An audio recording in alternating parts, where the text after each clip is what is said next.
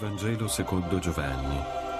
In quel tempo Gesù disse a Nicodemo, Colui che viene dall'alto è al di sopra di tutti, ma chi viene dalla terra appartiene alla terra e parla della terra.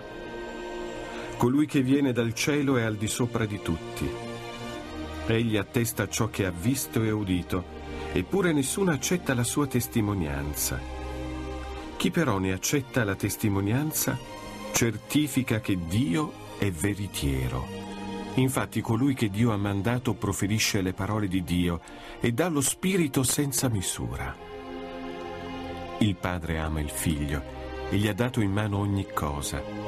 Chi crede nel Figlio ha la vita eterna. Chi non obbedisce al Figlio non vedrà la vita, ma l'ira di Dio incombe su di lui. Cari fratelli e sorelle, bentornati. Il Vangelo di oggi ci mostra la comunione tra il Padre e il Figlio. Infatti Dio ha dato al Figlio tutto e il Figlio, dopo essersi fatto uomo, ha dato testimonianza alla verità, soprattutto con l'obbedienza al Padre. Questa verità che ci viene rivelata da Gesù deve essere da noi accolta. Sono pochi però quelli che l'accolgono e che percorrono la via stretta Invece sono molti quelli che percorrono la grande via della perdizione. Nella scelta Dio ci lascia liberi. Siamo noi a scegliere se obbedire e accogliere la verità oppure se rifiutarla.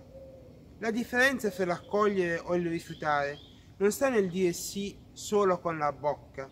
Infatti non chi dice Signore entrerà nel regno dei cieli, ma consiste in una obbedienza, un fiat totale della persona con la sua vita. Abbiamo due grandi esempi nel Vangelo, Maria e Giuseppe. Il loro sì non è stato solo verbale, ma ha incluso una obbedienza totale della loro vita, affidandosi così nelle mani di Dio.